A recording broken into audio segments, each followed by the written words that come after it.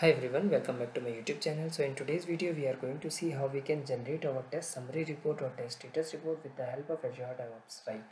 Now, in the DevOps, you'll see an option to create a dashboard, right? You just need to click on the overview. You can click on the dashboard and you'll see an option to create a dashboard. So if you see here, we have an overall dashboard, we have a testing dashboard, and if you want one more dashboard, you can write as development dashboard kind of thing right? So it's up to you. If you want to create you can create as many dashboards you want right? So now we have three dashboards. So i'll be going through the testing dashboard so that i can show you how you can generate your test case results. Or uh, sorry basically how you can create your um, test summary report or test uh, status report. Now in the previous video i have explained you how you can create the shared query right? So that shared query is going to help us in generating this dashboard basically over here right? So I'll go to report boards and click on the queries. Okay. And there are basically two important factors or you, you can say two important or two major components we generally include in our test summary report or test status report. The first one is related to the bugs and the second one is related to the test cases. Now in the bugs we generally want to show like how many bugs we have logged how what is the state of bugs and uh, uh, what is the priority what is the severity kind of things right? So what I have done till now I have created a lot of queries over here right? You can see. So I'll refer this bug query as of now. And if you see here I have priority and severity column here. Let me remove this column. First of all I'll show you the issue basically. First and how to resolve that issue as well so once it is done you need to save query. You can go to charts and you'll see the charts if it is added by someone. If it is not by default you'll see this blank screen like this. Now now you wanted to generate a chart generate charts based on the bugs. So you simply can click on the new charts and you can select field as state. So it will give you a chart saying that there are six tests, six bugs out of which five bugs are in new state and the one bug is in the committed state. Now let's say you wanted to generate a charge based on priority but you'll not see the priority field because priority field itself is not there in the result. So you need to add these columns using this column option. You can add priority, you can add severity, you can add these columns once these columns are added you need to save the query. Click on charts. You can again click on new chart. You can select priority and you can select whatever chart you want. So I'll use this bar chart over here. Again I'll generate one more chart based on severity and I'll use the bar chart. Okay? If you see the name of these charts are same so even you can change the name. Let's say this is based on by priority. Okay. And add it by severity right? So it's there everything. Now you need to add this chart to the dashboard. You just need to click on these three dots and you'll get an option to add to the dashboard. From here you need to select the dashboard. Let's say testing dashboard.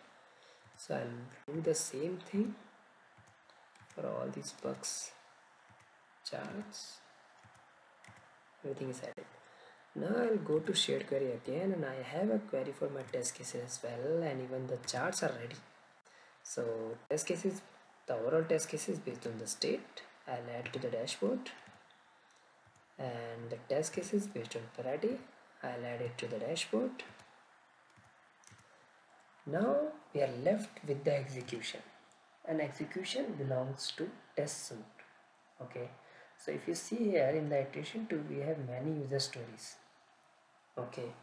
So the first way is basically you can simply create test result from here directly based on the outcome. Okay. From here you can directly generate. You can select iteration and you can have this iteration result over here the test result. And you can add it to the dashboard using this the same way but I'll not add this. I'll show you one more way. Even that way will work for your shared queries for bugs and the test cases as well. Okay I'll show you. You just need to click on overview you can go to the dashboard. And if you see here we have our testing dashboard ready here right? It's not properly formatted. You just need to click on this.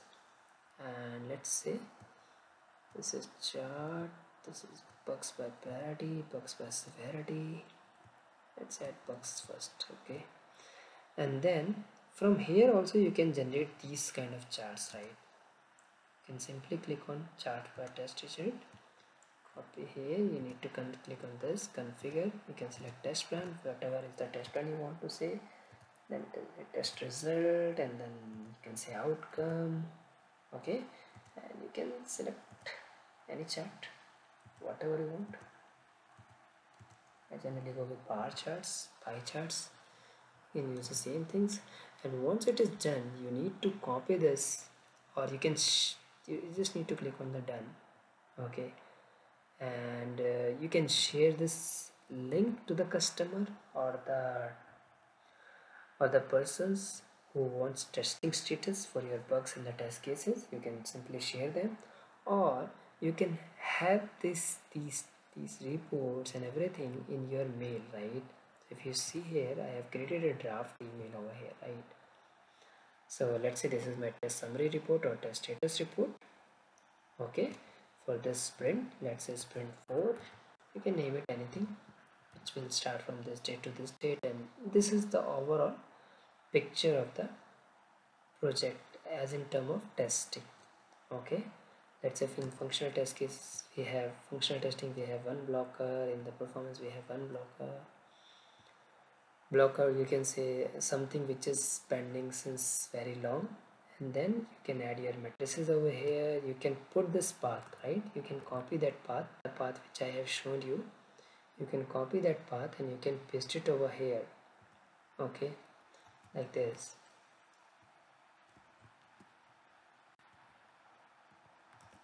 Okay and you can send it to the customer.